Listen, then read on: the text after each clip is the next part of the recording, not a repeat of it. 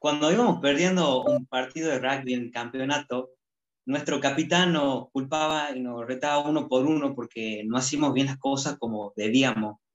En ese momento empecé a, dudar de él y a preguntarme qué se sentiría ser un líder dentro del equipo.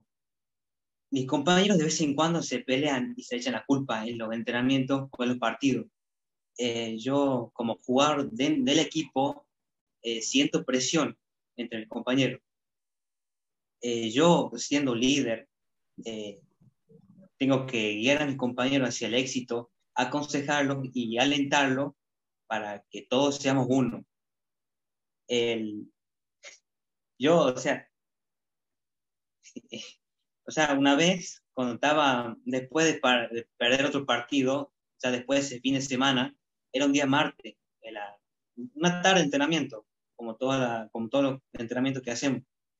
Mis compañeros estaban hartos, cansados y enojados porque, porque hemos perdido después de ese partido, ese fin de semana cada vez que alguien se mandaba una bacana, o se equivocaba o salía mal un ejercicio, ese alguien era retado por mi compañero y por el capitán.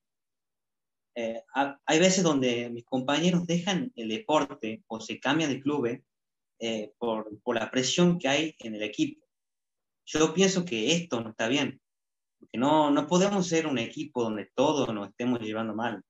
Tenemos que ser un grupo unido y también nos tenemos que llevar bien es bueno ser, ser un líder, porque nos ayuda a desenvolvernos con los demás y también nos ayuda a liderar un grupo donde, todo, donde todos puedan participar. Y también el líder es un buen referente, quien inspira a sus propios compañeros a llegar a cierto objetivo. Muchas gracias por tu atención.